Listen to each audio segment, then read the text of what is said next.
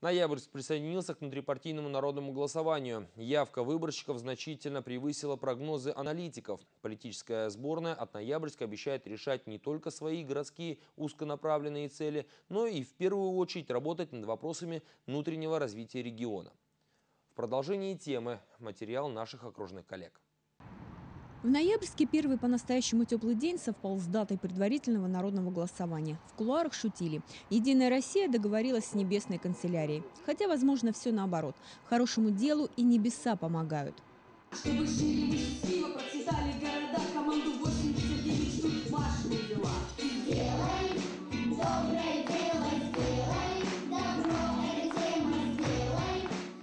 Копилки добрых дел у ноябрян – новый благотворительный фонд помощи тяжелобольным северянам «Вселенная добра», членом попечительского совета которого предлагают стать Дмитрию Кобылкину. У нас есть на Ямале фонд, который помогает тяжело больным деткам. А этот фонд будет помогать э, взрослому поколению, которые прожили на севере, э, то есть отдали всю свою жизнь, но вот такое несчастье у них случилось. О том, что Дмитрий Кобылкин – самый активный благотворитель, на Ямале знают многие, но немногие видели его реакцию на слова благодарности. Я от всей души, от всех многодетных хочу поблагодарить вас за транспорт, который вы нам предоставили. Вы знаете, сейчас я уже с уверенностью могу сказать, что пользуемся не только мы многодетные, пользуются и инвалиды, и все общественные организации. Спасибо вам большое. Кандидатам в сборную команду 89 выступать на площадке в Ноябрьске непросто. Горожане въедливы, критичны и по-хорошему дотошны. Город нужно знать. Его нельзя взять только громкими лозунгами и речами. Я всегда готов к любым вопросам, даже если где-то что-то, э, какой-то может быть неожиданный вопрос, это всегда стимулирует, включает голову. Я думаю, что я буду рад любому вопросу. Думаю, что нет. Открытость – это наш принцип.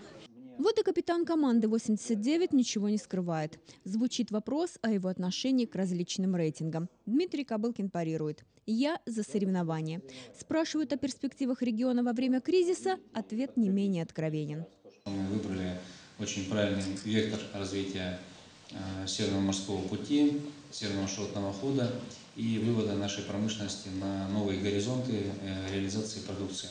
Это очень вписывается в сегодняшнюю э, ситуацию, непростую. Я думаю, что вот эти санкции, они приведут к тому, что мы с вами, безусловно, найдем новые возможности поднятия экономики Российской Федерации. И мы там будем играть с вами, поверьте мне, ключевую роль. Справиться с современными вызовами в одиночку нереально. Политический тяжеловес Николай Яшкин идет на довыборы в Тюменскую областную думу. В случае победы на выборах он должен не только сохранить все инфраструктурные проекты, но и увеличить их финансирование. Мы все равно все вместе. И мы все равно победим. И несмотря на эти санкции, несмотря ни на что, ледокол, который называется Ямал, он шел, идет и будет идти сильно, уверенно, прямо. В том числе и благодаря не только команде 89 депутатов, которых выберут законодательное собрание, но и той команды, которую можно назвать общей командой Ямал. Кандидатам в команду 89 сегодня непросто. Рядом те, кто умеет и хочет работать. Их не пугают четкие вопросы и трудности экономики. В своей жизни они видели многое и с многим справлялись. Я в этом городе давно, практически с 86 -го года. Поэтому я уже северянин со стажем. Я уже участвовал в выборах в свое время в Ноябрьскую городскую думу, поэтому выборная деятельность для меня, так скажем, не новая. Вопросов я не боюсь.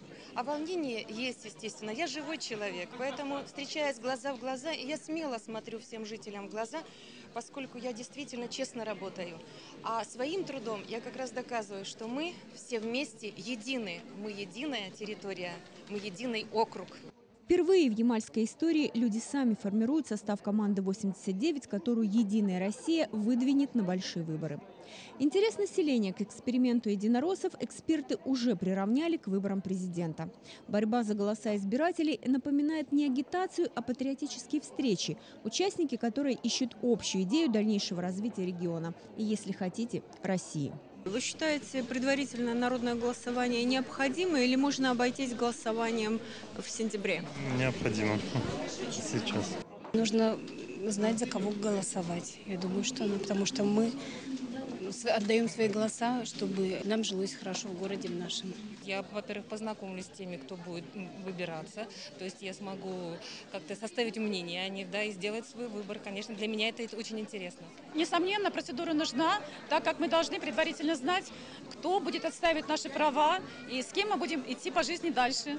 С кем идти по жизни дальше, покажет сентябрь. Но уже сегодня ясно, большой эксперимент «Единой России» удался. В команду 89 войдут те, кто не забудет о своих обещаниях и наполнит политику здравым смыслом.